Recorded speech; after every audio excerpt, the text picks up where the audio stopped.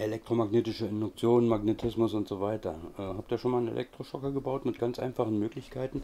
Leute, egal.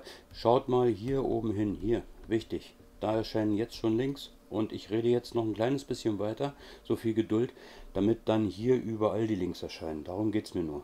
Das ist also praktisch für alle Klassenstufen. Man kann sich dann die entsprechenden Sachen, nur Magnetismus oder, oder, oder Transformator und, und, und alles raussuchen. Ich hoffe, dass die Links jetzt hier schon sind und ja, ihr könnt dann zu den einzelnen Themen. Wie gesagt, alle Klassenstufen ist was dabei. Na denn.